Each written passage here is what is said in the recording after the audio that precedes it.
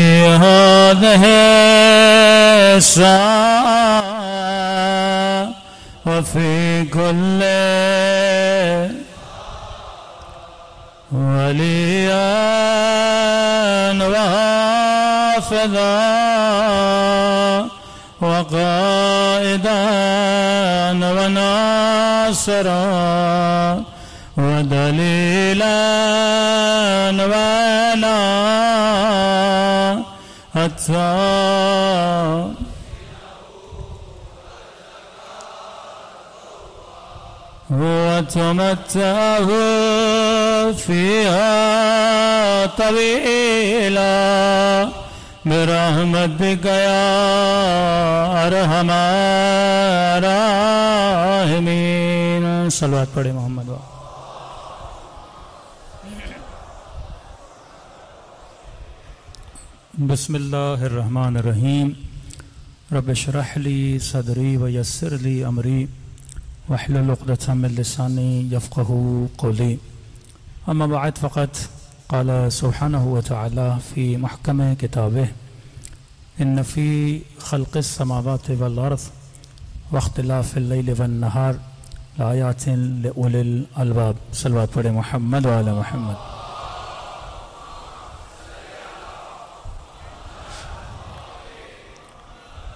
दुआ है, परवरदिगार आलम, हम सब की बात तातु को अपनी बारगाह आली में कबूल फरमाए और जिस मकसद ज़िंदगी की खातिर इन मजालस में तशरीफ़ लाते हैं, खुदा, उन मकासद में भी हम सबको कामयाबी नसीब फरमा दें।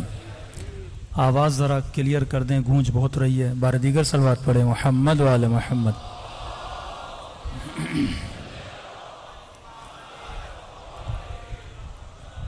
परवर दिगार आलम, अपनी किताब में ईसाए करीमा में, साहिबान अक़ल, साहिबान लुब का ज़िक्र कर रहा है कि हमने ज़मीन और आसमानों में अपनी अलामतें, अपनी निशानियाँ छुपा के रखी हैं और इन निशानियों में गौर व फ़िक्र वो करते हैं जो उलिल अलबाब हैं। अरबी में लुब बोलते हैं मगज़ को। जब आप अखरोट लेते हैं तो उसके दो हिस्से होते हैं। एक उसका कवर होता है, एक उसके अंदर मगज़ होता है। तो उलिल अलबाब वो होते हैं कि जिनके अंदर मगज़ मौजूद हो। और वो साहिब लुब नहीं मतलब अखरोट का कवर हो, पर अंदर मगज न हो। तो खुदा कहता है, कई लोग ऐसे हैं जिनका जिस्म इंसानी कवर में तो है, पर उनके अंदर मगज नहीं है।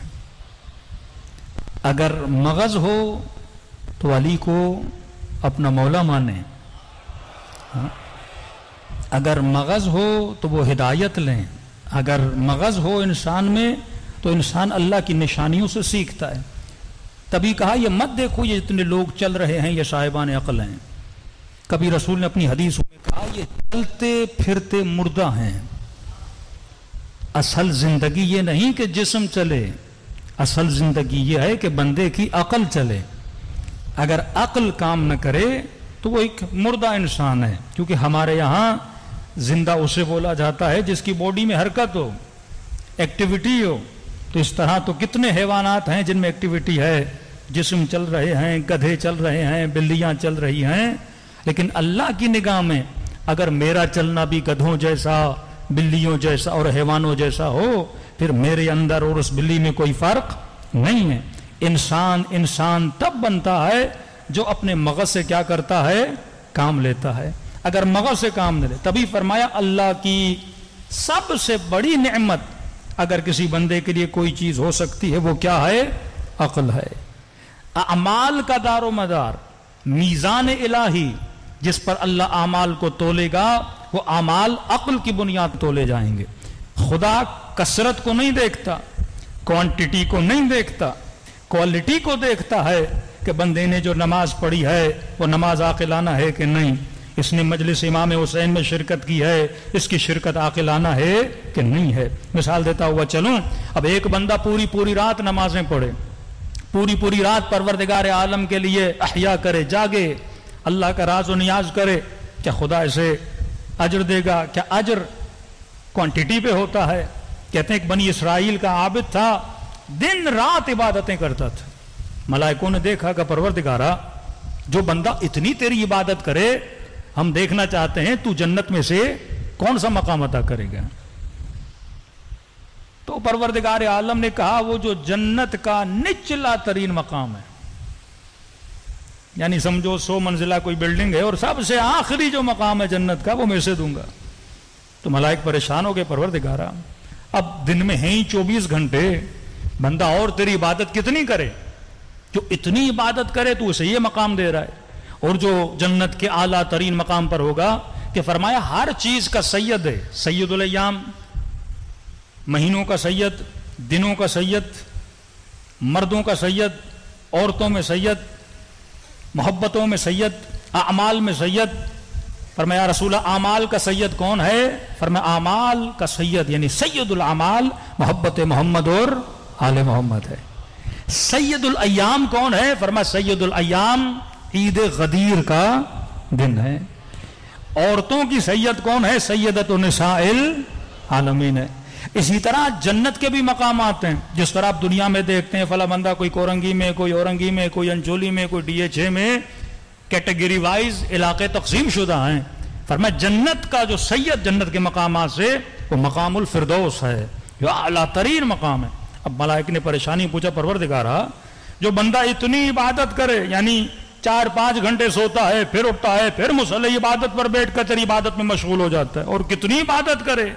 कि इतनी इबादत करने वाले को तू इतना कम मकाम देगा। तो बता तो सही, आला मकाम किसे मिलेगा? खुदा ने कहे, काम कर, पहले जाके उससे मिल के आ। फिर तुझे अंदाज़ा होगा कि मैंने उसे इतना निचला मकाम क्यों दिया। बशरन सवैया उसे बशरी लिबास में मलक को भेजा, तमसील की उसकी। ये आया उस बनी इसराइल के दिन रात इबादत करने वाले आबिद के साथ मिलने। कहते जैसे बैठा, बहार का मौसम था ज़मीन पे हरियाली, सरसब्ज, घास उगी हुई थी ज़मीन पर। इबादुल्लाह की निशानी है कि वो जब अल्लाह की नेमतों को देखते हैं तो सुबहान अल्लाह कहते हैं। नेमत को देखकर रेफरेंस खुदा की तरफ़ जाना चाहिए। नेमत को देखकर सोर्स परवरदिगार आलम की तरफ़ जाना। नादान इंसान होते हैं जो नेमत पर रुक जाते हैं। औलिया की निशानी नेमतों से अपने जहनों को अल्लाह की तरफ़ मुंतकिल करते हैं। का जिस आबिद को सलाम किया, इसने जवाब दिया का माशाल्लाह आप दिन रात इबादत करते रहते हैं, कितने बड़े आबिद हैं। अल्लाह का शुक्र है। का खाना पीना खाएँगे, का नहीं, मैं रोज़े के आलम में हूँ। का ठीक है। का कोई शिकायत? रोज़गार कैसे गुजर रहा है? दिन कैसे गुजर रहे हैं? इस आबिद ने कहा, अल्हम्दुलिल्लाह, हर चीज़ अच्छी गुजर रही है। लेकिन एक चीज़ पर मुझे दुख है। का कैसी? का देखो, इतनी हरियाली। सरसब ज़मीन, कितना हरा भरा मौसम, अल्लाह की हिकमत के खिलाफ है, का क्या? का इतनी हरियाली है? अब देखोगे एक दो महीने गुजरेंगे, सारी सब्ज़ियाँ, सारी हरियाली सूख जाएगी, ये सारी फ़सलें ज़ाया हो जाएँगी। अच्छा ना होता, खुदा अपने गधे को भेजता, वो इस घास को खाता, ताकि ये घास ज़ाया न होती। ये बंदे खुदा जो मलक के मुकर्रब खुदा इसके पास आया तो परेशान हो गया। क्या बंदा खुदा तो दिन रात इबादत कर रहा है, परवरदिगार आलम का क्या कोई गदा होता है? उसने कहा, तुम कैसी बातें कर रहे हो? जो मेरे पास गदा है तो खुदा के पास और भी बड़ा होगा। हमारे पास भैंसे हैं, गधे हैं, हर चीज़ है तो क्या खुदा के पास नहीं होंगी? इसने देखा कि इस बंदे की तोहीद ही कमज़ोर है। इसके पास मारिफत परवरदिगार आलम है ही नहीं। इसके सजदे टक्कर से ज़्यादा कोई अहमियत नहीं रखते। इसका ज़िक्र लक लक इस जबान से ज़्यादा कोई अहमियत नहीं रखता। तभी फरमाए अतफक करो सा एक घंटे, बाजुलमा फरमाते हैं, एक लम्हे का सोचना, अफजल सबईन सन। सत्तर साल से अफजल है। ये सत्तर साल, बार बार आप मिसाल सुनते हैं अलवैद के कलाम में, सत्तर साल एक बंदे की एवरेज लाइफ होती है। लोग सत्तर साल जीते हैं और दुनिया से चले जाते हैं। पाकिस्तान में तो 55 और 60 ईयर से ज़्यादा कोई जीता भी नहीं है। तो सत्तर साल की ज़िंदगी तो तर्जुमा अगर इस तरह किया जाए तो गलत नहीं होगा। एक लम्हे का सोचना एक उम्र के बराबर है। एक पूरी ज़िंदगी के बराबर है। क्योंकि अगर बगैर फ़िक्र के ज़िंदगी दी जाए, ज़िंदगी जी जाए, उस ज़िंदगी का कोई फ़ायदा नहीं है। तभी कहा खुदा अगर अमाल की सजा और जजा देता है तो अल्लाह का जो तराजू है, जिस बुनियाद पर मेरी नमाजों को, मेरी मजलिसों को, मेरे अमाल को तोला जाएगा, वो किस बुनियाद पे तोला जाएगा? आपकी अकल की बुनियाद पे तोला जाएगा। जिसकी अकल जितनी ज़्यादा, उसका अज्र उतना ज़्यादा अब अकल कुल है रसूल। और रसूल ने कहा, अना मदीनतुल व अली बाबुहा। मैं शहर इल्म हूँ और अली उसका क्या है? दरवाज़ा है। तो जो जितना अली और आले अली से करीब होगा, उसकी अकल उतनी ज़्यादा हो जाएगी। तो मजलिसों में आने का एक मकसद ये भी बना कि हम मजलिसों में आकर अपनी अकल के प्याले को भरते हैं, ताकि खुदा मोहम्मद और आले मोहम्मद के सदक़े में हमारी अक्ल को क्या करे? बुलंद करे, सलवात पढ़े मोहम्मद वाले मोहम्मद पर।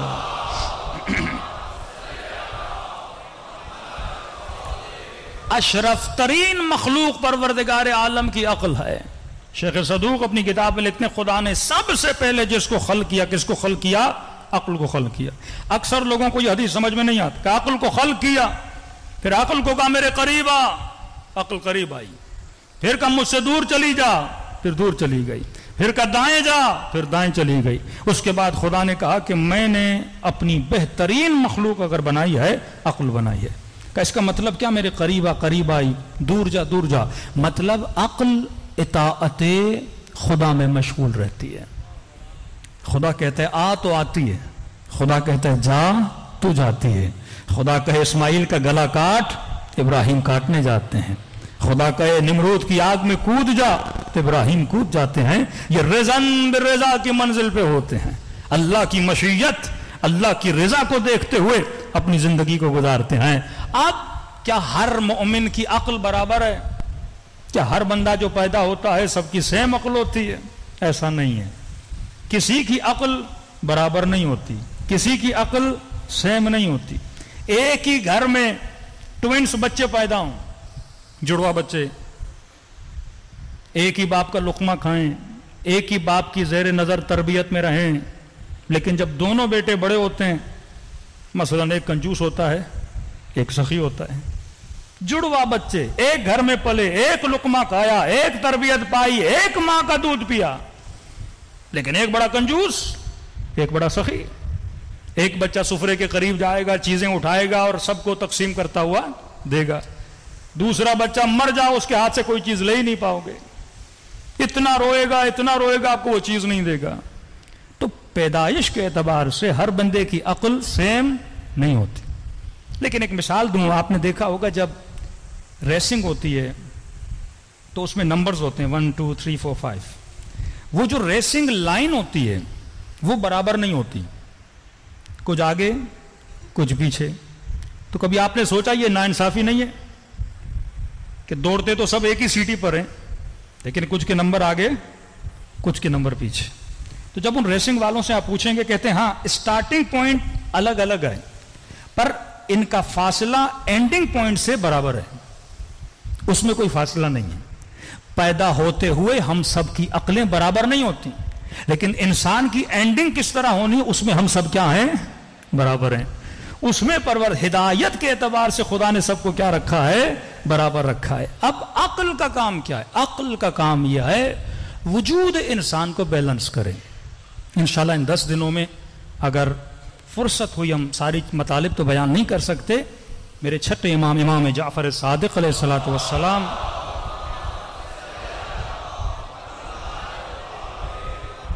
मौला की एक हदीस है जिसकी शरह इमाम राहिल इमाम खुमैनी ने लिखी है, जुनूद अक्ल और जुनूद जहल, लश्कर अक्ल, लश्कर जहल।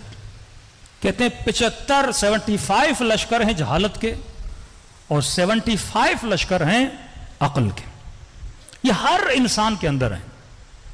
बिलफेल या बिलकुआ बच्चा बचपन में अगर हसूद है, कंजूस है तो ये कंजूसी जहालत के लश्करियों में से एक लश्कर है। अब इसने बड़े होकर इस लश्कर को शिकस्त देनी है और उसकी जगह पे दूसरा लश्कर, दूसरा सिपाही बिठाना है, जिसका नाम क्या है? सखावत है। हो सकता है कोई बंदा हसूद है, हसद लश्कर जहल का सिपाही है। उसकी जगह पे इसने गिबते को बिठाना है कि किसी मोमिन से हसद नहीं, कहा ना दुआ करनी अगर खुदा ने उसे वो मकाम अता किया, मुझे भी वो मकाम अता करे। इमाम ने एक एक लश्कर का नाम लिया का यह हर बंदे के वजूद में है। और अली वाले को कोशिश करनी चाहिए कि जहालत के लश्कर को खत्म करे, अक्ल के लश्करी को बिठाए। अब अगर ये पिचहत्तर लश्करी, लश्कर हमारे वजूद में आ गए तो हम सलमान बन जाएँगे, हम अबूजर बन जाएँगे, हम मैसम तम्मार बन जाएँगे, हम मजलिसों में मैसम की तारीफें करते हैं, हबीब की तारीफें करते हैं। पता तो चले हबीब हबीब कैसे बना? मैसम मैसम कैसे बना? जब तक मजालिस प्रैक्टिकल नहीं होंगी जब तक मुझे राह रविश का पता नहीं चलेगा, जब तक मुझे ज़िंदगी गुजारने का सलीका पता नहीं चलेगा, मैं अपनी ज़िंदगी में खुश कैसे रह सकता हूँ? पर मैं मोमिन के दिल पर खुदा एक सुकून नाजिल करता है कि दुनिया का कोई टेंशन, कोई परेशानी इसके वजूद को तला में नहीं ला सकती। ये मोमिन वो है जिसने इन जुनूद अक्ल और जुनूद जहल, लश्कर अक्ल और लश्कर जहल को पहचाना है। दूसरी दलील इस टॉपिक को इख्तियार करने की कि आज जो हमारे मुल्क के हालात चल रहे हैं मुकम्मल तौर पर इस मुल्क पर जहालत की हुकूमत है, अक्ल की हुकूमत नहीं है। लोग ये समझते हैं कि जहल के मुकाबले में इल्म है। लाख मासूम फरमाते नहीं, इल्म जहालत के मुकाबले में नहीं है। इल्म के मुका, अक्ल के मुकाबले में जहल है। इल्म के मुकाबले में जहल नहीं है। क्योंकि आपके माशरे में कई ऐसे आलिम हैं जो जाहिल हैं। जाहिल उसे बोलते हैं जिसमें अक्ल नहीं। जाहिल उसे नहीं बोलते जिसमें इल्म नहीं। काजी शुरा साहिब इल्म है, लेकिन अक्ल है कि नहीं? अकल नहीं है मतलब जाहिल है। मासूम कभी उसे जाहिल नहीं कहते। जो बीए पास है एमए पास है पीएचडी है डॉक्टर है प्रोफेसर है, हो सकता है प्रोफेसरों पर जाहिल हो। तो दुनिया जाहिल उसे बोलती है जो अनपढ़ है। अहलबैत जाहिल उसे बोलते हैं जो बे अकल है। बताइए किस चरसी, किस मवाली को नहीं पता कि नशा नुकसानदेह है? मैं एक इंटरव्यू देखा, उस चरसी से पूछ रहा है, नशा को नुकसानदेह क्यों पी रहे हो? अक्ल नहीं है, जाहिल है। हर नशे करने वाले को पता है कि नशा नुकसानदेह मेरी जान लेवा है, दुनिया आखिरत, खसरा, दुनिया वाला आखिरत, लेकिन नशा करता है, क्योंकि साहिब अकल नहीं है। ये नाचने वाले, ये गाने वाले, ये फहाशी फैलाने वाले, ये जुल्म करने वाले, किसको नहीं पता कि आखिरत में जवाब देना है? किसको नहीं पता कि गुना हमें जहन्नुम की तरफ़ ले जाएगा? इल्म है उसके पास, अकल नहीं है। इस अकल को बंदा मज़बूत करे। जनाब यूसुफ का वाक्य सौ आयतों में खुदा ने बयान किया यह बताने के लिए कि शहवत तेरे पास भी है, शहवत सबके पास है। यूसुफ के पास भी शहवत थी। लेकिन यूसुफ ने अपनी अक्ल की मैनेजमेंट के अंदर अपनी शहवत को क्या किया? कंट्रोल किया। अक्ल बेहतरीन मैनेजर है, जो तुम्हारे जज्बात को, तुम्हारे एहसास को, तुम्हारे गुस्से को, तुम्हारे हसद को कंट्रोल करता है। उन घरों में तबाही बपा हो जाती है। कितने जवानों की एनर्जियाँ तबाह हो जाती हैं। कितने घरों में दस दस साल, पंद्रह पंद्रह साल फजूल किस्म के झगड़े, बहू के, पता नहीं सास के झगड़े, बीवी के झगड़ों में एनर्जी तबाह हो जाती हैं। क्योंकि किसी को नहीं पता कि मैंने अपने जज्बात को कंट्रोल कैसे करना है। मैंने अपने हसद को हैंडल कैसे करना है? मैंने अपने गुस्से को कंट्रोल कैसे करना है? मैंने अपनी जबान को कंट्रोल कैसे करना है? और ये कौन बताएगा? ये मकतब अहलबैत में अहलबैत सलाम जिनको बाब मदीनतुल इल्म कहा, जो साहिब इल्म रसूल और साहिब इल्म खुदा है, वही हमें बता सकते हैं कि तुमने अपने ऊपर कंट्रोल कैसे करना है? सलवात पढ़े मोहम्मद वाले मोहम्मद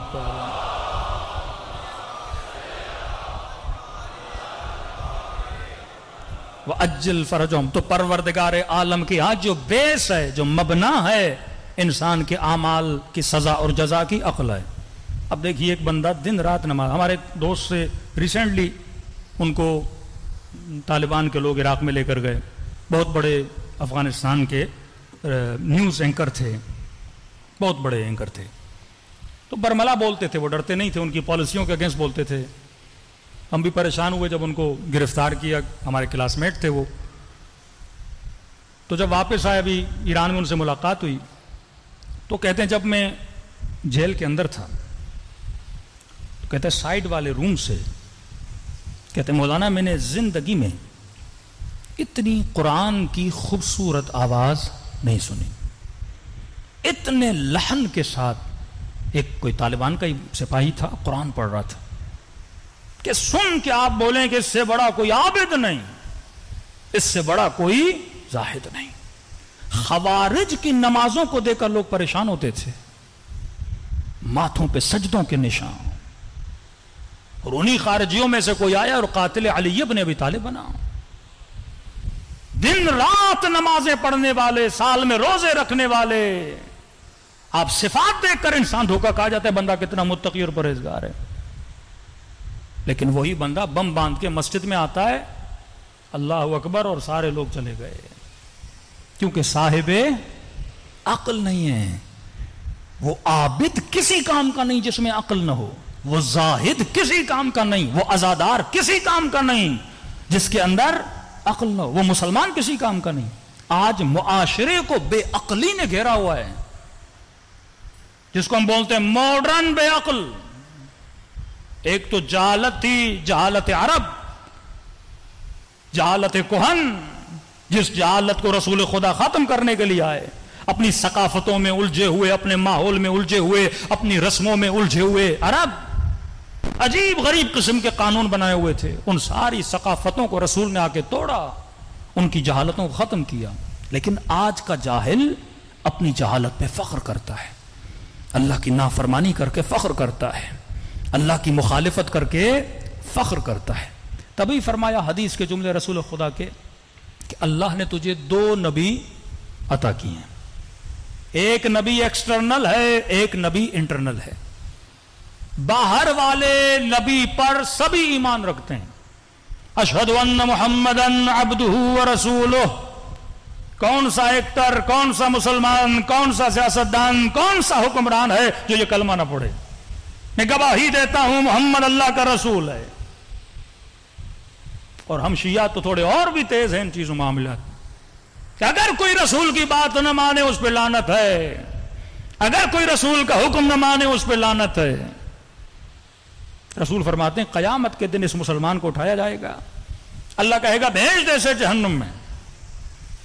कहेगा परवर दिगारा क्यों भेज रहे हो? कहा कि तूने मेरे नबी को कत्ल किया। कहेगा, परवरदिगारा, मैं तो रसूल के जमाने में था नहीं। एक हज़ार चार सौ साल बाद पैदा हुआ, न नबी को देखा, न मुस्तफ़ा को देखा। मैं तो कलमे पढ़ता रहा, उसकी नातें पढ़ता रहा, उसके सुरूद और नशीदें पढ़ता रहा और आप कह रहे हो मैंने नबी को कत्ल किया। कि नहीं, वो एक्सटर्नल नबी था, बाहर वाला। तुमने अपने इंटरनल नबी को कत्ल किया। नबील बातिन, तेरे अंदर का नबी परवरदिगारा, वो कौन है? आवाज़ आएगी, अक्ल। अकल अंदर का नबी था। हम अक्सर अपने अंदर के नबी को कत्ल करते हैं। बाहर वाला नबी अगर कुछ कहे और मुसलमान न माने, उस पर हम लानत भेजते हैं। और अंदर वाला नबी अगर हमें हुक्म दे कि ये जो कर रहे हो गलत है, दुनिया और आखिरत का नुकसान है जन्नत तबाह करोगे, जहन्नुम में जाओगे। इवन अपने बदन को नुकसान दे रहे हो। लेकिन कौन है जो अंदर वाले नबी की बात को माने? तो मासूम फरमाते ऐसे कोई शिया नहीं बनता। ऐसे कोई रसूल का हकीकी सच्चा मुसलमान नहीं बनता। वो बनता है जो अपने जज्बात को अक्ल के अंडर रहते हुए मैनेज करता। अब अक्ल का काम क्या है? आपके अंदर कुछ जज्बात हैं और यह हर इंसान के अंदर है, कॉमन है। हर इंसान के अंदर कुव गजबिया है, गुस्से की ताकत। हर इंसान के अंदर कुव शहवानिया है, शहवत। कोई इंसान नहीं जो इन चीज़ों से खाली हो। और अगर खाली है तो ऐब है, नामुकम्मल है। अगर ये चीज़ें नहीं तो इंसान नहीं है। तीसरी चीज़ कुव इदराक, हर इंसान के अंदर है।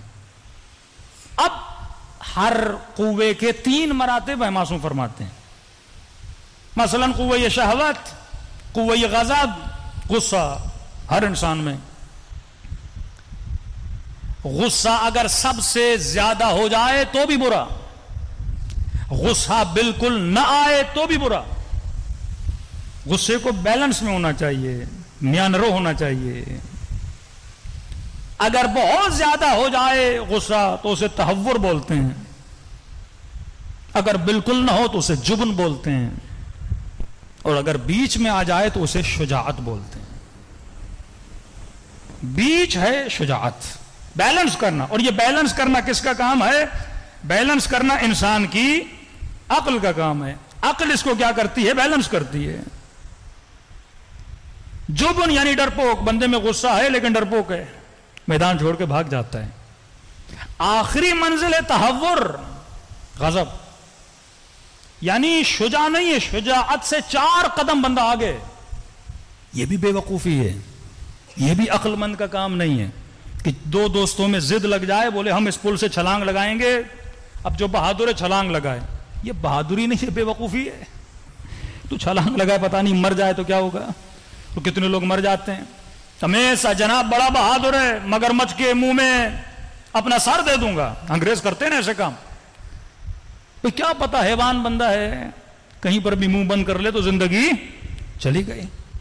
ये जवान जो एक्स्ट्रा ऑर्डरी बाइक चलाते हैं, गाड़ी की रेसिंग लगाते हैं, और समझते हम बहादुर हैं कि सबकी मोटर बाइकें दो टायरों पे चलती है, मैं एक पे चलाऊँगा, तुझसे बड़ा कोई बेवकूफ़ नहीं है। ये दुनिया की सबसे बड़ी, ये तहवर है। मासू फरमाते, जो तहवर में मुबतला है, वो साहिब अक्ल नहीं है, बेवकूफ़ आदमी है। जो अपने आप को नुकसान दे, जो सोचे ना, जो गौर फ़िक्र ना करे, मैं जो कर रहा हूँ, वो नुकसान दे। फ्री में मर जाओगे, खसर दुनिया वाला, आखिर कुछ भी नहीं मिलेगा। चार शेर खड़े हैं, पाँच शेर खड़े बोले, बंदा, मैं बड़ा बहादुर हूँ, आगे जाता हूँ और या बोल के जाता हूँ। ये बेवकूफ़ी है। अमीरुल मोमिन ने बोला, मेरा नाम लेके शेरों के मुकाबले में चले जाओ। बहादुर हो तो वक्त के यजीद के मुकाबले में जाओ ना। हाँ? बहादुर हो तो वक्त के दुश्मन के मुकाबले में जाओ। ये बहादुरी नहीं है। इल्ला ये कि बंदे को यकीन हो कि मैं उन शेरों पे हावी हो सकता हूँ। कैलकुलेशन उसकी हंड्रेड परसेंट हो। अमीरुल मोमिन को यकीन है कि शेर अली पे हमला नहीं करता। इमाम जवाब को पता है कि शेर मेरे कदमों में बैठ जाता है। यकीन कामिल हो। लेकिन अगर तुझे पता नहीं तहवर आज पूरी दुनिया को तहवर ने घेरा हुआ है। ये जहाजों से छलांगे लगाना सारे काम करना।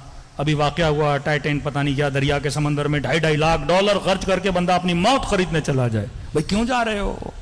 क्योंकि माल था, पैसा था, डिग्रियाँ थी, पर अली वाली अकल नहीं थी। अगर बंदा साहिब अकल हो तहवर में नहीं जाता। दूसरा, अगर ये कम हो जाए, गजब, जुबन, वो भी खिलाफ अक्ल है। कि मैदान जिहाद में मौत के डर से बंदा भाग जाए। अरबियों बोलते हैं, जबान डरपोक बंदा, जुबन हो। अहलवैत कभी किसी मैदान को छोड़ के नहीं भागे। शुजात और शुजात यह नहीं कि बंदा तलवार चलाए यह भी शुजात में नहीं आता। अपनी अकल से, अपने गुस्से को हैंडल करे। शुजात कभी यह है कि तलवार निकाले और कभी यह शुजात है कि तलवार को नयाम में डाले। कभी जंग करना शुजात है, कभी हसन का सुलह शुजात है। यह अक्ल का काम है, गुस्सा बंदे को आता है कभी खामोश रहना शुजात है। बाप बड़ा है, बाप ने कुछ बोल दिया चपेट मार दी, बाप है। अब बंदे को गुस्सा तो आता है सेल्फ स्टीम है इंसान में सेल्फ रिस्पेक्ट है, बाप ने मार दिया चार बंदों के सामने। का यहाँ पे शुजात यह है कि अपने आजा पे कंट्रोल कर। वला तकूल माँ को न कहना, बाप को न कहना। अब शुजात यह नहीं कि तू उससे लड़े, तू उससे बददहनी करे बद जबानी करे। अखलाक में समझा, अखलाक में बात कर। अगर गलत भी है तो अखलाक के ज़रिए से उसकी गलती का उसे एहसास दिला। ये नहीं कि तो कभी लड़ना शुजात, कभी चुप रहना शुजात है। ये सारी कैलकुलेशन करना किसका काम है? इंसान की अकल का काम है। सलवात पड़े मोहम्मद वाले मोहम्मद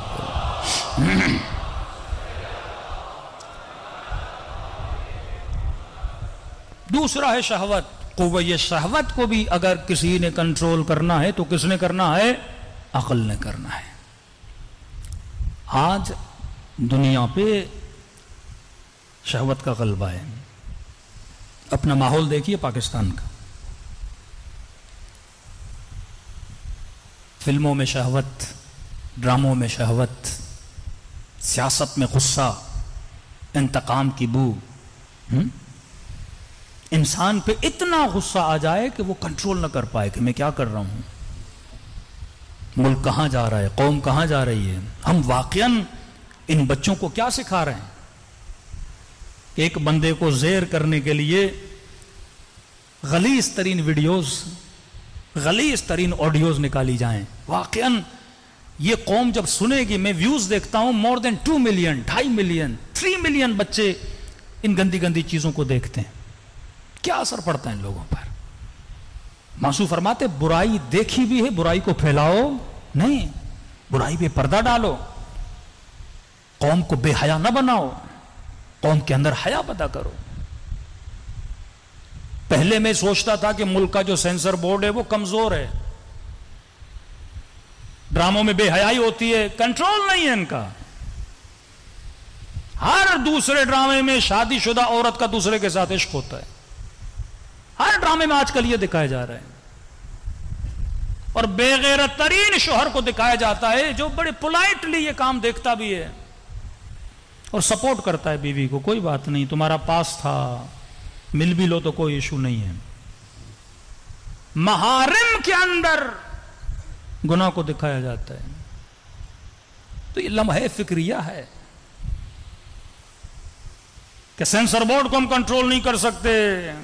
ड्रामे वाले, डायरेक्टर्स, पैसे देके उनको रिश्वत देके अपने ड्राम सेंसर बोर्ड क्यों बनता है ताकि किसी भी ड्रामे में बेहयाई ना हो? और रिसेंटली अगर पाकिस्तानी डायरेक्टर्स शरीफों वाले ड्रामे बना रहे हैं, वो भी जाति शराफत की वजह से नहीं।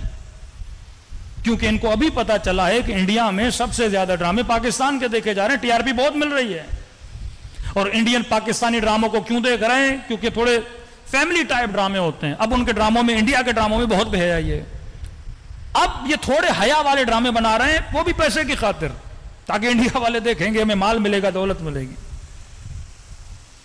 देखिए, जब हम सियासत में आते हैं, जब हमारे पास इतना पावर और कंट्रोल है, हम किसी सियासी पार्टी को, किसी सियासी बंदे को बैन कर देते हैं चैनल्स पे तो यही पावर ड्रामों में क्यों नहीं यूज़ होता?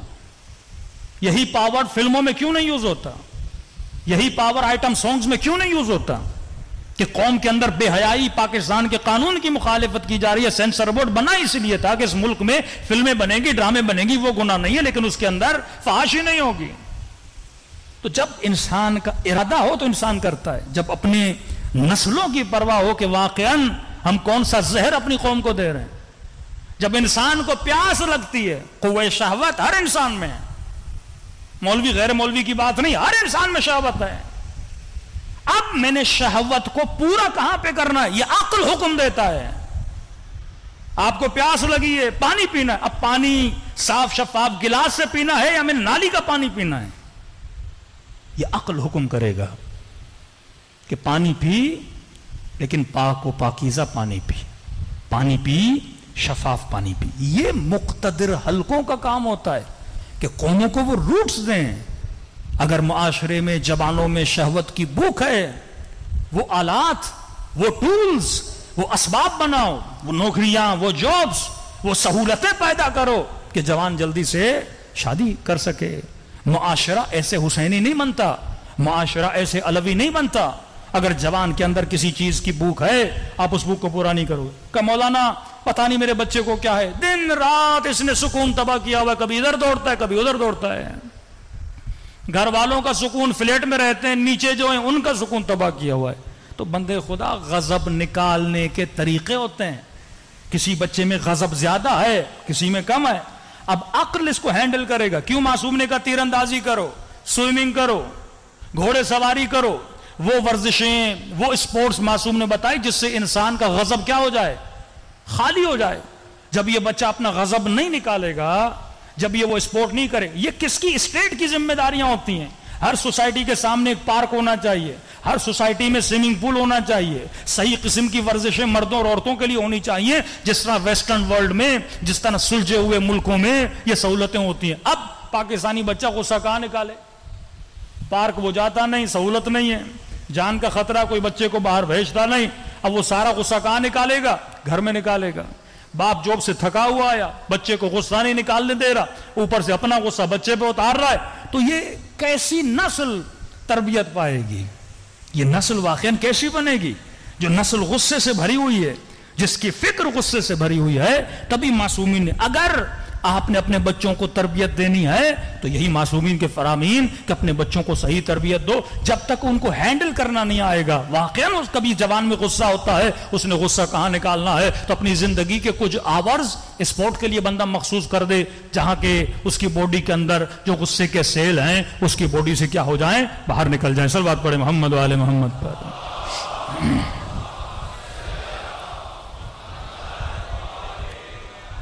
व अज्जल फर। इसी तरह कुव शहवत। अगर शहवत बहुत ज़्यादा हो तो भी बुरा।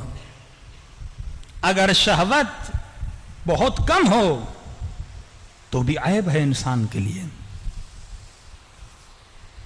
शहवत अगर बहुत ज़्यादा हो जाए, उसे शरह बोलते हैं, हद से ज़्यादा। इतनी बंदे में शहवत हो, दरो दीवार को देखकर बंदे पे शहवत तारी हो जाए। ये बीमारी है। इसका इलाज शहवत का कम होना जैसे खमूद बोलते हैं, इसका भी इलाज है, मेडिकल इलाज है।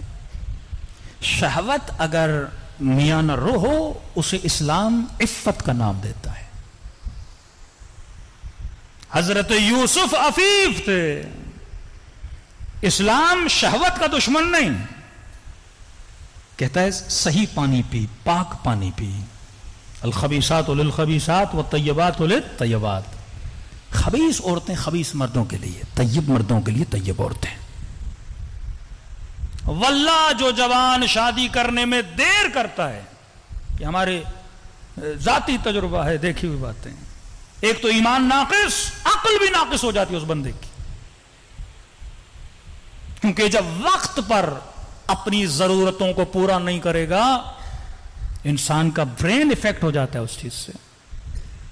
जो 40 साल में 45 साल में, सैंतीस साल में जाके शादियाँ करते हैं, वो कामिल नहीं होते। क्यों कहा, वक्त पे बंदा शादी करे तो नमाज़ भी कामिल है। ऐसे तो रसूल ने निकाह हो मैन सुन्नती, निकाह मेरी सुन्नत है। जो इससे दूरी इख्तियार करे, वो मुझमें से नहीं। ये नहीं कहा जो नमाज़ न पढ़े मुझमें से नहीं, जो निकाह न करे मुझमें से नहीं। मतलब अगर तू अपनी बॉडी की जरूरतों को वक्त पे पूरा नहीं करेगा, तबाह बर्बाद हो जाएगा। वो माशरा, गुनाह वाला माशरा होता है। अब जवान के अंदर शहावत है, आप अगर उसे सही पानी नहीं दोगे, पाक पाकिजा पानी नहीं, नाली का पानी जाकर पिएगा। गंदगियों में उलझ जाएगा। दूसरी तरफ़ वो दुश्मन है जिसने जवानों के लिए खुराक बना के रखी है, फ़िल्मों की सूरत में। मतलब एक बोतल में पेट्रोल हो और एक बंदा माचिस की तीलियाँ लेके खड़ा है और पेट्रोल को क्या लगा रहा है? आग लगा रहा है।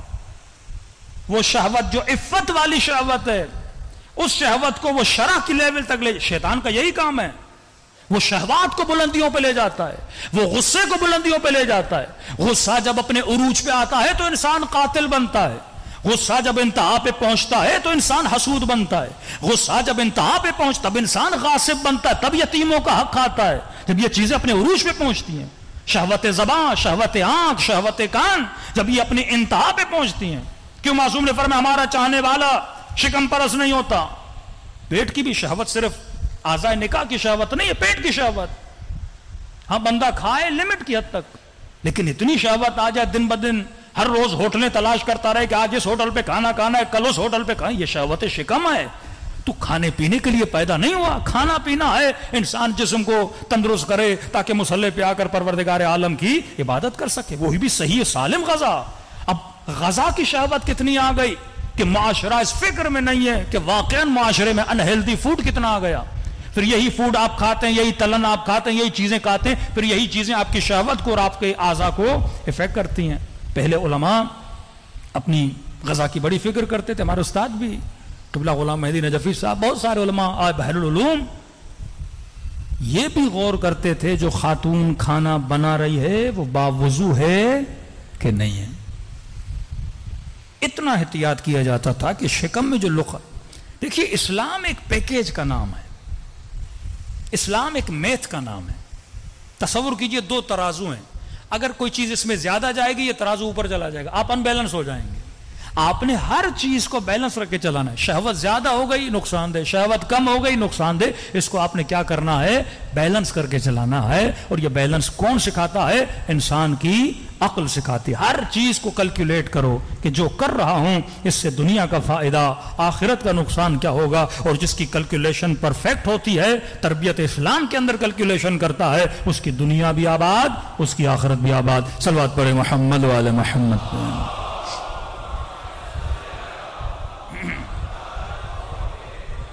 मैं जल्दी जल्दी से ज़िक्र करता जा रहा हूँ, क्योंकि फिर हर एक मौजू की तफसील में हम इनशाला नेक्स्ट मजालिस में आएँगे। तीसरी ताकत कुवय इदराक। ये बहुत ही ताकतवर तरीन कुआ है जो अल्लाह ने इंसान को दिया। कुवय इदराक यानी फ़िक्र की ताकत। कुवय इदराक यानी वहम वहम की ताकत। अगर ये कुत इदराक हद से ज़्यादा आगे निकल जाए तो भी नुकसान उसको जुर्बजा बोलते हैं। कम हो जाए, उसे हमक बोलते हैं, हिमाकत। अल्लजीन यतफ़क्रून फ़ी खल्क समावात वालर्स लेकिन अगर ये फ़िक्र मियाँ नरो रहे, मिसाल देके समझाऊँगा। पहले जो वेस्टर्न वर्ल्ड है, क्रिश्चियंस हैं वो या इफरात में रहे हैं, हमेशा या तफरीत में रहे बहुत अठारहवीं सदी में आप चले जाएँ तो कहते थे क्योंकि हज़रत ईसा ने शादी नहीं की, लिहाजा हम शादी नहीं करेंगे। मतलब शहवत का कंप्लीटली इनकार। जब आप अल्लाह की मैथामेटिक के हिसाब से नहीं चलोगे ना तो माशरे में तबाही पैदा हो जाती है। ये क्यों एलजीबीटी मर्द का मर्द से निकाह औरत का औरत है ये क्यों इन चीज़ें उनके माशरे में ज़्यादा जन्म ले रही हैं? क्योंकि जब शहवत का इनकार किया तो उनके किलीसा में, उनके चर्चिज में जितने उनके पादरी थे, वो हम जिन्स बन गए। लवात के केसेस उनके यहाँ ज़्यादा आने लगे। जो बच्चे वहाँ पढ़ते थे, उनके साथ बदकारी के केसेस सैकड़ों की तादाद में रिपोर्ट हुए। क्यों? क्योंकि उन्होंने एक फितरी चीज़ को रोका। स्टॉप किया। खिलाफ अकल। यही काम बुद्धिस्ट ने किया। बूदा के मानने वालों ने। शादी नहीं करनी। शादी का जब इनकार किया, आज सबसे ज़्यादा बेदीन मुआशरा जो दीन को लायक नहीं करता, सेक्युलर बन चुके हैं, वो क्रिश्चियन सोसाइटी है। क्यों फितरत का इनकार किया ना? फितरत का इनकार करोगे तो लोग दीन गुरीज बनते हैं, दीन से भाग जाते हैं। एक तो शहावत का इनकार। दूसरा उन्होंने गजब का इनकार किया, गुस्से का। पहले वो कहते थे, अगर कोई, वो गांधी वाली पॉलिसी, कोई एक थप्पड़ मारे, अगला गाल आगे कर दो। यही पॉलिसी बुद्धिस्ट की है। मारना नहीं, खून नहीं बहाना, चाहे कत्ल हो जाओ, मर जाओ, अपने दिफा के लिए तलवार नहीं उठानी। गजब का भी यूज़ खत्म कर दिया उन्होंने। तीसरा था इदराक फ़िक्र। बड़े बड़े फिलोसोफर बड़े बड़े साइंसदान उनमें बने। गैलुले मशहूर है। उसने कहा, ज़मीन सूरज के गिर्द घूमती है का खबरदार। अगर ये बोला है, तेरा सर कलम कर दिया जाएगा। और कई सियासतदान उन्होंने क्या किए? कत्ल भी कर दिए। बड़े बड़े चुप हो गए। एक वक्त उनका वो गुजरा, शहवत का इनकार, गजब का इनकार, इदराक का इनकार, फ़िक्र का इनकार। सोचने नहीं देते थे। और यही सोच आप देखते हैं, बाज शिया मुखालिफ गुरुओं में पाई जाती है। कि अगर कोई बच्चा सवाल करे, नहीं, इस टॉपिक को नहीं छेड़ना। तारीख के सब्जेक्ट में नहीं जाना, ये चीज़ नहीं पढ़ना, ये चीज़ नहीं बोलना, शियों की मजलिसों में नहीं जाना, शिया से नहीं मिलना, हा? यानी रोकना रोकना रोकना, और जितना रोकते हैं, फितरत इंसान है, उतना आगे बढ़ता है। यही पाकिस्तान का हाल देखिए। वो जितना एक बंदे को दबा रहे हैं, बंदा उतना उभरता जा रहा है।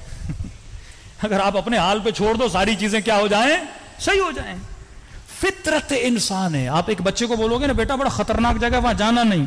तो तजस्स पैदा होगा। वो बार बार उसी चीज़ की तरफ़ आगे फितरत इंसान है। आप रोकोगे, इंसान रुकने का नाम नहीं लेता। पहले इस्लाम कहता था, आगे आओ। मसीह आगे नहीं आते थे। अब इतने आगे निकल गए, हम कहते हैं, पीछे आओ। कोई पीछे नहीं आता। शहावत इंतहा, गजब इंतहा, इदराक इंतहा पर कोई भी फ़िल्म उठा लें आप हॉलीवुड की। शहावत से भरी हुई, और यानी नंगापन, फहाशी उरूज पर शहावत उरूज पर। और उन गलाजतों तक जब तक जाकर पहुँचे हैं, जहाँ तक इंसान तस्वुर भी नहीं कर सकता। शहवत के उस मकाम पे जाके वो पहुँचे हैं, कि इंसान को घिन आती उन लोगों से। गजब में इतने आगे निकल गए हैं ये लोग, कि हर फ़िल्म में कत्ल, गारत, मार, धाड़, कटाई इतने गजब में आगे निकल गए कि एक बटन दबाते ही एटम बम फेंकते ही पैंसठ हज़ार लोग लुकम अजल बन गए। ये वो इंसान है जो अक्ल से आ रही है। ये वो इंसान है जो गुस्से में इतना आगे निकल जाता है। आज तक कोई शेर भी देखा है, वो इस तरह चीरे फाड़े। एक हिरन मारेगा दो हिरन मारेगा पेट भर जाता है चुप करके शेर भी बैठ जाता है। उला एक कला नाम बल हो मजल। ये हैवान है नहीं बल्कि हैवान से बदतर है। शेर एक हिरन खाता अपनी ज़रूरत को पूरा करने के लिए। एक बटन एक सेकंड लगा था एटम बम को फेंकने में। सिक्सटी फाइव थाउज़ेंड पीपुल मर गए। दूसरा आइटम बम फेंका 95,000 लोग मर गए। सद्दाम ने 1992 में पाँच लाख शिया इराक में कत्ल किए। पाँच लाख। ईरान इराक की जंग में दो लाख बीस हज़ार शिया कत्ल किए। ये वो इंसान है जब अपने गजब पे कंट्रोल नहीं करता। आज फ़िल्मों में देखेंगे शहावत, इंतहा पर। गजब, कत्ल, गारत, गोलियाँ, इंतहा पर। कुवे ये इदराक भी इंतहा पर है। इस कदर फ़िक्र को आगे ले गए हैं, इस कदर इमेजिनेशन कुवे ये इदराक और तस्वुर को आगे ले गए कि फ़िल्म में आप देखते हैं, ज़मीन से भी जानवर निकल रहे हैं, आसमान से भी, ये सारी फ़िल्में कैसे बनती हैं, कुवे ये इदराक से। अब इस नहेज पे पहुँचे, कहते हैं, फ़िक्र इंसानी को वही की ज़रूरत नहीं है। फ़िक्र इंसानी को कुरान की ज़रूरत नहीं है। फ़िक्र इंसानी को खुदा की ज़रूरत नहीं है। हम जहाँ चाहें, अपनी फ़िक्र के ज़रिए से पहुँच सकते हैं। इस्लाम कहता है, नहीं। फ़िक्र भी वहाँ तक जा सकती है। जहाँ तक इसकी ताकत है। हद से ज़्यादा जाओगे, पागल हो जाओगे। दिन रात मौसा फरमाते जात खुदा में सोचोगे, पागल हो जाओगे। तुम जात खुदा को सोच नहीं सकते। जात खुदा को अपनी फ़िक्र में जमा नहीं कर सकते। तो फ़िक्र ने भी कहीं ना कहीं वह्य परवरदिगार आलम की मदद लेनी होती है। फ़िक्र बदतनहाई दर्जात को बुलंद बुलंदियों को नहीं छू सकती। जब तक ये फ़िक्र कनेक्टेड ना हो, वह यह परवरदिगारे आलम से। तो फ़िक्र को कुरान से हमने मुंसलिक करना है और यह कुरान गाइडेंस देगा कि हमने फ़िक्र की परवाज को कहाँ तक ले जाना है, गुस्से को कहाँ तक ले जाना है, शहवतों को कहाँ तक ले जाना है, शिकम परस्ती को कहाँ तक ले जाना है, अपने आज़ा को कंट्रोल कैसे करना है, क्योंकि कंट्रोल करने की ज़िम्मेदारी किसकी है? अक्ल की है। अब शैतान क्या करता है? शैतान इंसान के वहम को इस्तेमाल करता है। ये बात याद रखिए, शैतान इन ताकतों का दुश्मन नहीं है, कमाल शैतान यह है। शैतान उसूल का इनकार नहीं करता। मिसाल दे रहा हूँ कि हर इंसान हुसन को परस कर, पसंद करता है, इंसान को हुसन अच्छा लगता है। शैतान हुसन का इनकार नहीं कर सकता। शैतान आपको महवे हुसन कर देगा। पैसा किसको बुरा लगता है? माल किसको बुरा लगता है? ना ही हलबैत ने कहा कि माल बुरा है, ना ही अली नबी तालिब ने कहा कि पैसा बुरा, ना रसूल खुदा ने कहा पैसा बुरा है, ना शैतान कहता है पैसा बुरा है। शैतान आपको महव माल कर देता है। यानी आपके जहन को इतना मगन कर देता है उस माल में कि माल के अलावा आपको कुछ याद रहता ही नहीं है। एक मिसाल दूँ ताकि जवान भी समझ जाए। देखिए, फूल खूबसूरत है गुलाब का। हर किसी को अच्छा लगता है। लेकिन क्या ये अक्लमंदी है? बंदा 24 घंटा उस फूल को देखता रहे। यह हिमाकत है। कहते हैं वो बेवकूफ़ लोग होते हैं जो दुनिया के हुसन में गुम हो जाते हैं। हुसन को देखकर खाल के हुसन तक पहुँचना यह अक्लमंद का काम है। रेफरेंस दो परवरदिगार आलम की तरफ़। सोर्स बनाओ परवरदिगार आलम की तरफ़। हसीन चेहरा देखा, हसीन मंजर दे, फ़ौरन कहो सुबह अल्लाह कितना हसनुल खालकीन है जिसने इतनी हसीन कायनात बनाई है। लेकिन लोग मछलियों में गुम हो जाते हैं, फूलों में गुम हो जाते हैं, मंजरों में गुम हो जाते हैं, लोगों के चेहरों में गुम हो जाते हैं भाई देखते देखते देखते, कितना देखोगे? बिल आखिर तो मेकअप उतर जाएगा। वो सुन खत्म हो जाएगा। बिल आखिर तो जवानी ढल जाएगी, बुढ़ापा आ जाएगा। तो अक्लमंद क्या है? इस हुसन से अल्लाह के हुसन तक पहुँचता है। ताकत में महव नहीं होता। परवेज मुशरफ बोलते थे ना कि ये वर्दी मेरी चमड़ी है।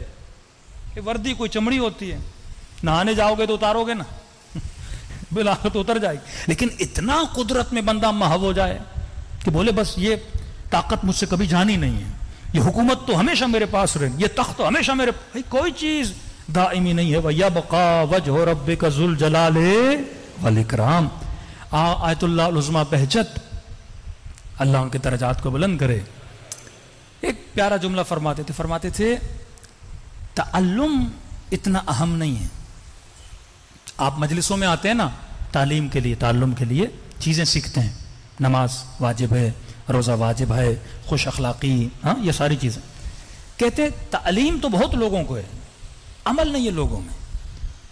अमल के लिए तजक्र बहुत ज़रूरी है।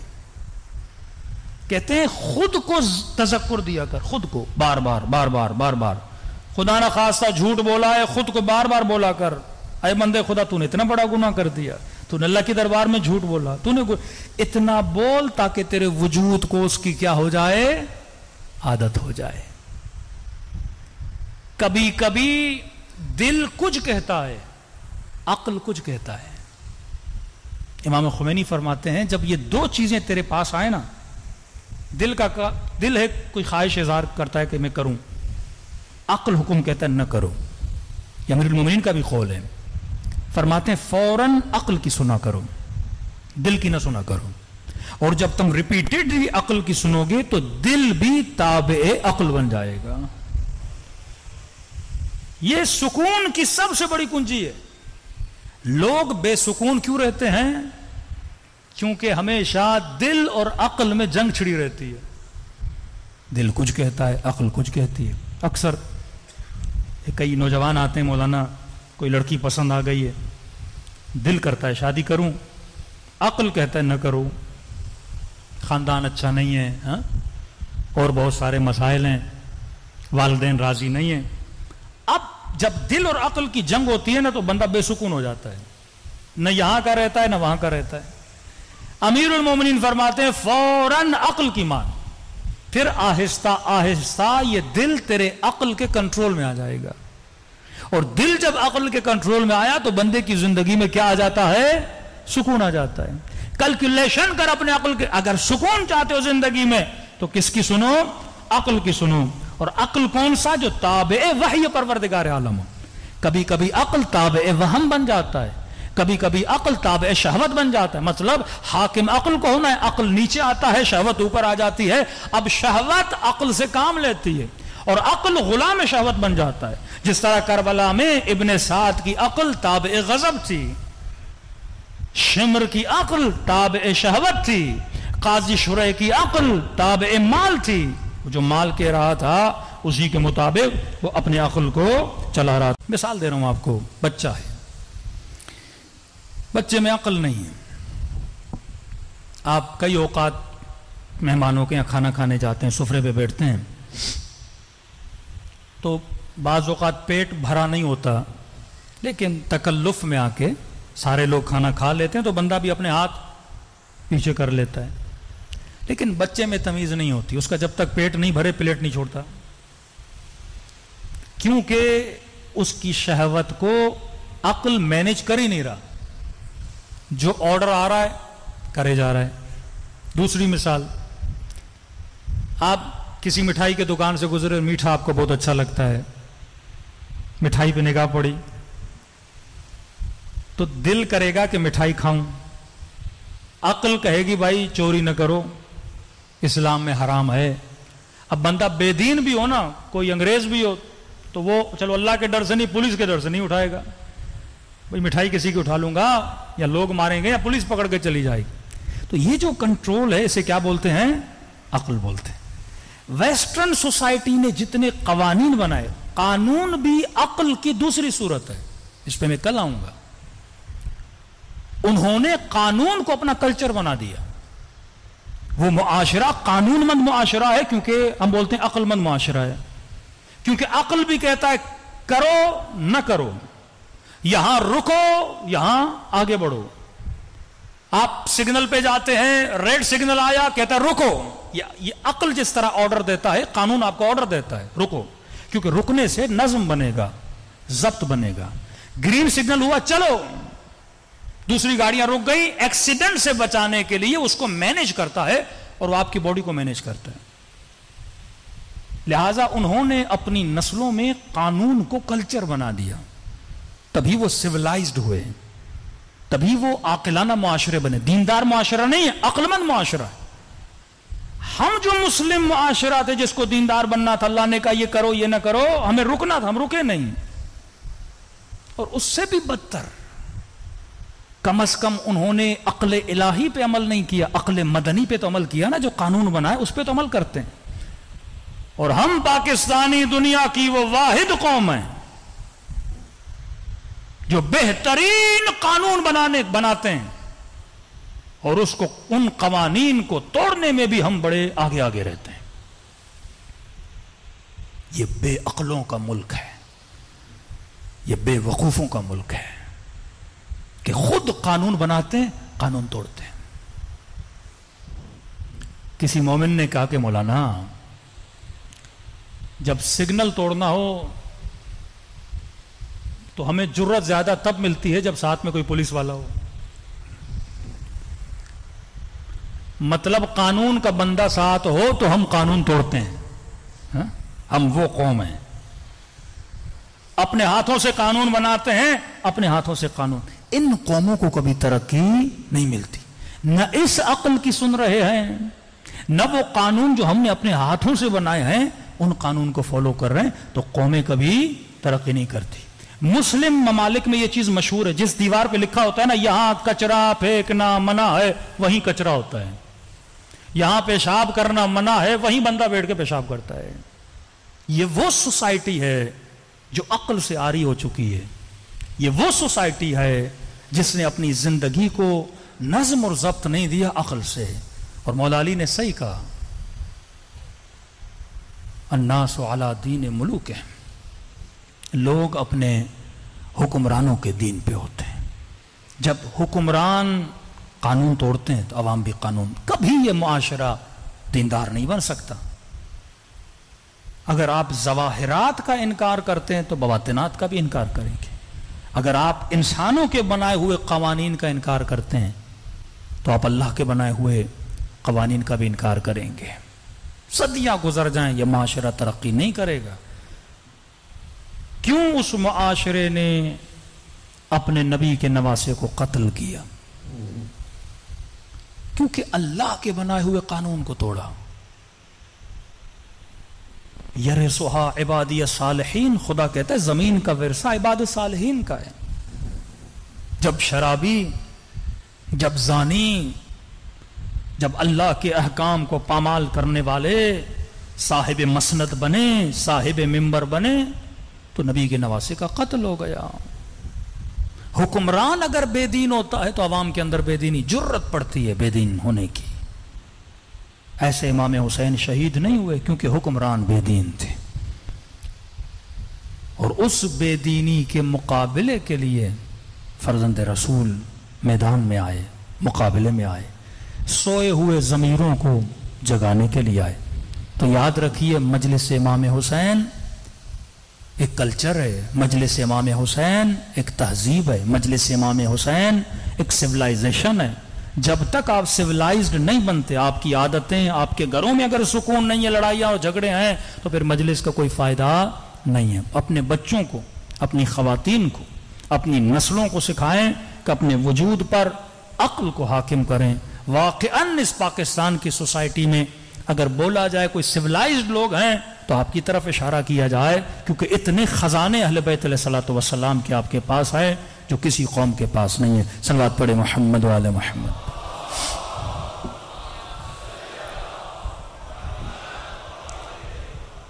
व अज्जल फ़रजहम, शहादत अबी अब्दुल्ला हुसैन फरमाते हैं, ये रिज्क परवरदिगार आलम है। ये रिज्क खुदा किसी को नसीब नहीं करता। जिसके नसीब में होता है वो फ़र्श अज़ा इमाम हुसैन पे तशरीफ़ लाता है। और खुश नसीब हैं।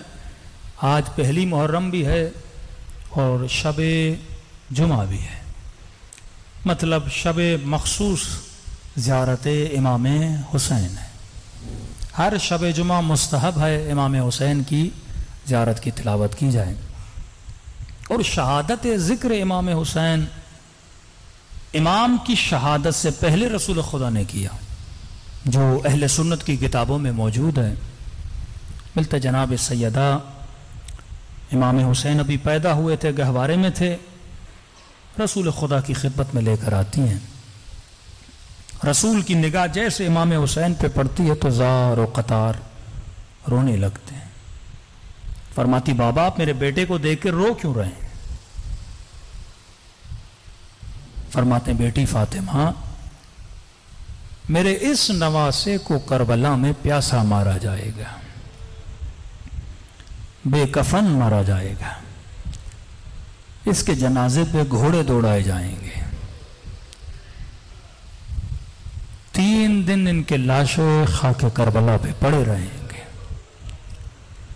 उस वक्त बेटी सवाल करती है, बाबा, कोई होगा जो मेरे बेटे की आजादारी करे?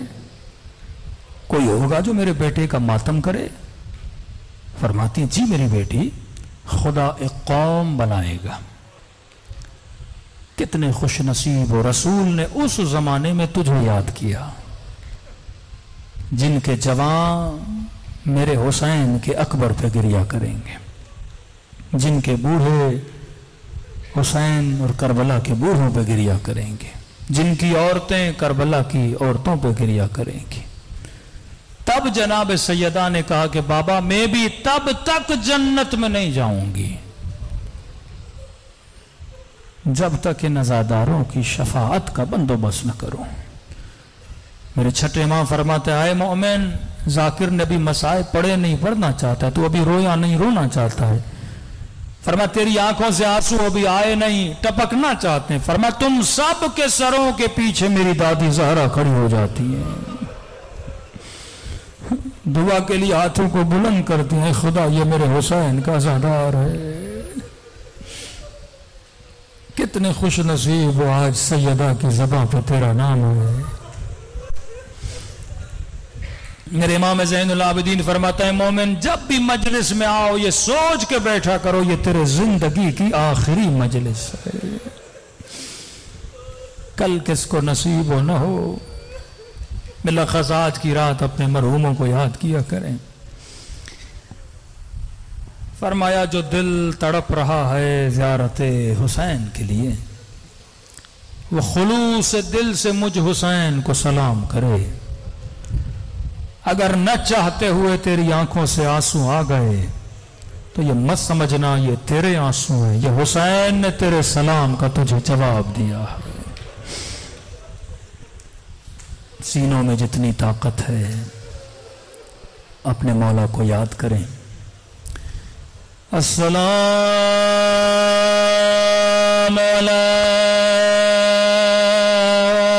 हुसैन वाला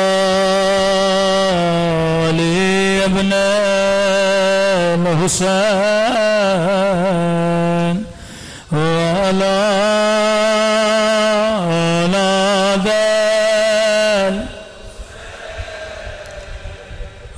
ala sabel Buland ve selam ala ve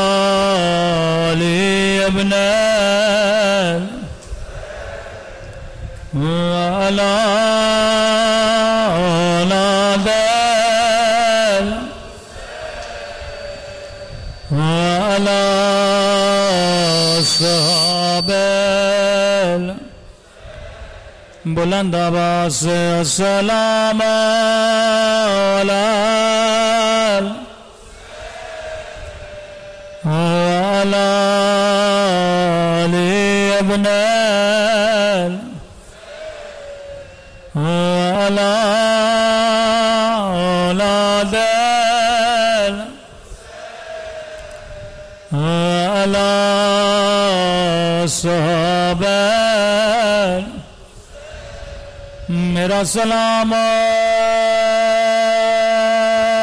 Zainab की। लुटे हुए चादर पे। आवाज़ थोड़ी बढ़ा दें। मेरा सलाम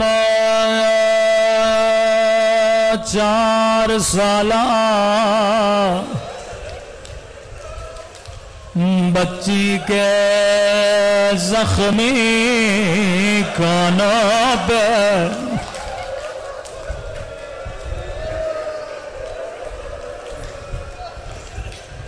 मेरा सलाम जख्मी रुखसार पे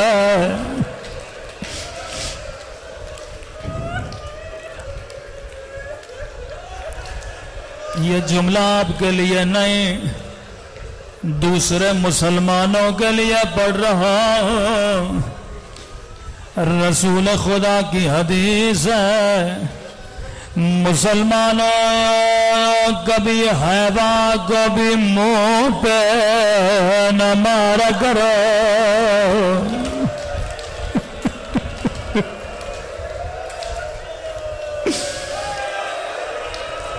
मेरे प्यारे नबी का फरमान है। कभी हवा को भी मुँह पे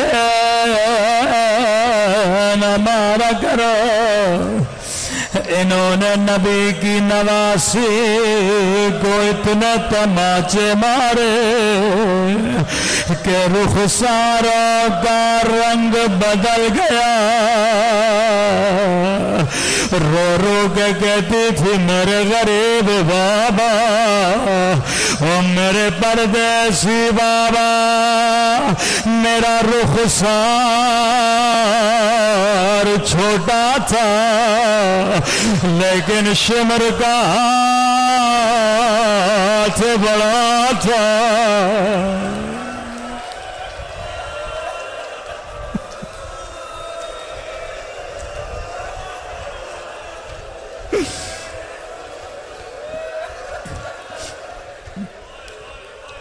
मैं कुर्बान हुसैन की यतीमा, बची आज अपने मरहूमों को याद करें।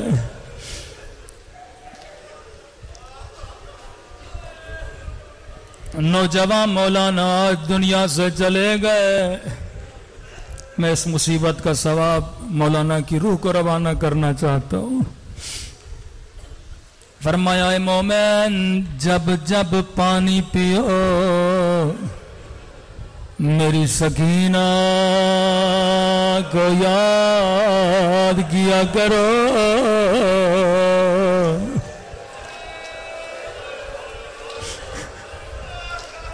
मैं कहता हूँ, ऑफ़िस में पानी पियो या घर में पानी पियो। चार साल बच्ची को याद किया करो। हसरत थी मेरे इमाम हुसैन की। अल्लाह जाने इस पानी के लिए जालिम ने बच्ची को कितने तमाचे मारे होंगे। का एक एक घूंट के लिए हमारी सकीना को तमाचे मारे गए। रिवायत बड़ी सख्त है, लेकिन शब जुमा है। मैं अपने मौला को सकीना का वास्ता देना चाहता हूँ। इमाम जमाना फरमाते, मोमेन जब जब मेरे जहूर की दुआ करो, खुदा को सकीना का वास्ता दिया करो। अल्लाह ये वास्ता कदे रद नहीं करता। अज़ीज़ नालैया अंतर खल्क, वला तुरा। मौला मेरे लिए बड़ा मुश्किल है। मेरी आँखें सबको देख रही हैं, लेकिन आपके चेहरे से महरूम है। ऐसा वास्ता जो खुदा कभी रद्द न करे। रिवायत के जुमले हैं, किसी ने मेरे चौथे इमाम से कहा, मौला, शिमर की क्या कोई अपनी बच्ची नहीं थी? जो साहिब औलाद हो जिसके पास बेटियों का औलाद हो वो कभी बच्चियों को तमाचे नहीं मारता। इमाम ने फरमाया, साहेब औलाद था का मौला फिर सकीना से दुश्मनी कैसे? इमाम ने कहा, दुश्मनी सकीना से नहीं थे। अगर कोई तुम्हें तकलीफ़ देना चाहे, ज़्यादा देना चाहे, तुझे नहीं मारेगा। तेरे सामने तेरे बच्चे को मारेगा। कहा, दुश्मनी जैनब से थे। जब जैनब का कलेजा जलाना था, ये सकीना को मारता था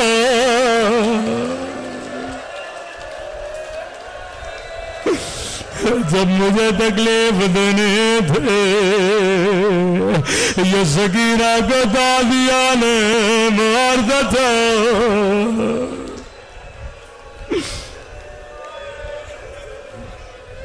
खुद मेरे मौला फरमाते हैं, एक घूंट के लिए मेरी बहन को अजियतें दे गए। रावी कहता है, काफिला हलप पहुँचा। दुश्मनों के चालीस घोड़े सवार आ गए आगे। कैदी बीबिया पीछे पीछे। शदीद धूप का आलम था। जालिमों ने सवारियों को रोका। मेरे मौला फरमाते शिमर लाई ने मुझे खुश्क दरख्त के नीचे बिठाया। फरमाया शियो मेरी गर्दन में लोहे का दोख था। हाथों में लोहे की हथकड़िया फरमाया, गर्दन में जख्म थे, धूप लोहे पे पड़ती थी, लोहा गर्म होता था। रावी ने का मौला, फिर कौन बचाता था? रो के कहने लगे, मेरी चार साल सकीना।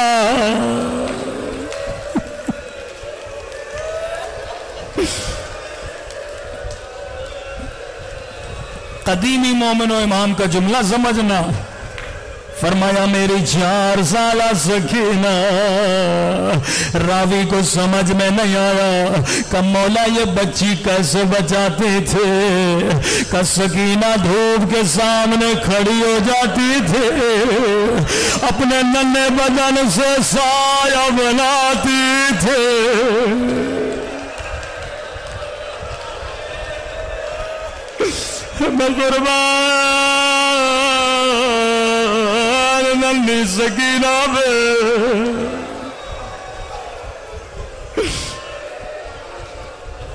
बड़ी सख्त रिवायत है। इमाम जमाना अगर मजलिस में मौजूद है, मौला माफ़ करिएगा। धूप में खड़ी हुई बच्ची मैं हमेशा कहता हूँ, इस्लाम का हुक्म है, रोजेदार के सामने पानी न पिया करो, क्योंकि वो प्यासा होता है। अल्लाह किसी प्यासे को पानी न दिखाए। मेरे मौला फरमाते हैं, जब चालीस घोड़े सवार नीचे उतरे, शिमर ने पानी का मश्क भरा। अपने सिपाहियों को पानी पिलाने लगा। नन्नी बच्ची की निगाह पानी पे पड़ गए आहिस्ता से कहा, भैया सजा तो मुझे प्यास लगी है। कसकीना ये तुझे पानी नहीं देगा। भैया इजाज़त मैं से थोड़ा पानी मांगो। कसकीना चली जा, कहीं कयामत के दिन ये न कहे, बच्ची ने मांगा नहीं था। अब कयामत का मंजर है, बच्ची ने नन्ने नन्ने कदम उठाए। बाबा के कातिल के करीब गए। आहिस्ता से का शिमर थोड़ा पानी दे दे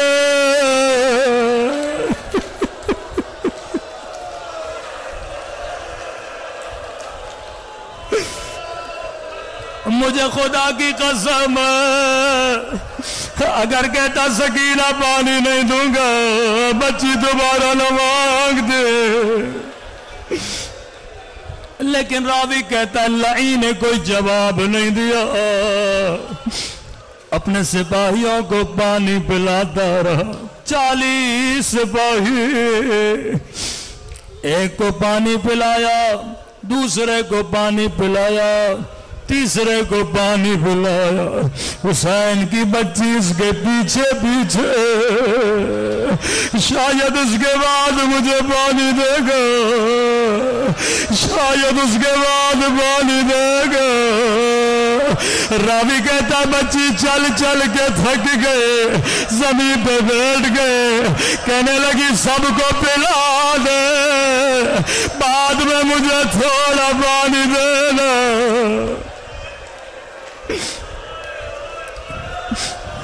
अब रिवायत के जुमले बड़े सख्त सैयदो, मुझे माफ़ करना। रावी कहता है लाइन चालीस, सिपाहियों को पानी पिलाया। अब मश्क लेके बच्ची के करीब आया। बच्ची ने बड़ी उम्मीदों से, अपने नन्हे हाथों से चुल्लू बनाया। मुझे थोड़ा पानी दे। सुनेंगे लई ने क्या किया सारा पानी ज़मीन पे फेंक दिया। सकीना ने खुद को पानी पे गिरा। और मेरे गरीब बाबा और मेरे प्यासे बाबा और मेरे प्यासे बाबा। बाबा शिमर ने मुझे तमाचे मारे।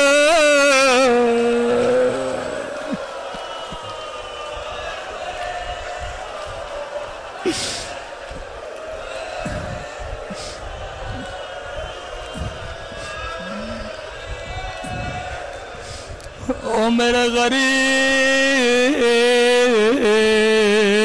वतन बाबा। अ खुदा, तुझे सकीना की यतीमी का वास्ता हमारे मौला और आका इमाम ज़माना का जहूर फरमा। इन गुनहगार आँखों को इमाम की जियारत नसीब फरमा। हमारे मरहूमिन के दर्जात को बुलंद फरमा। जो ज्यारत करबला के मुतमनी है, उन्हें हुसैन की ज्यारत नसीब फरमा। हम सब के सगीरा कबीरा गुना माफ़ फरमा। हमारे वालदेन के गुना माफ़ फरमा। ऐ खुदा मोमिन के जान, माल, इज़्ज़त और नामूस की हिफाजत फरमा। जो मांगा, नहीं मांगा, अपने खजाने कुदरत से नसीब फरमा। खुदा, हम सबको कब्र क़यामत में मौला हुसैन की शफात नसीब फरमा। परवरदिगारा, बहक मोहम्मद वाल मोहम्मद, ये गिरिया, ये ज़िक्र, ये इबादत अपनी मारगाह आली में कबूल फरमा। रबना तकबल मन्ना, इन्नक अंतस समी दुआ।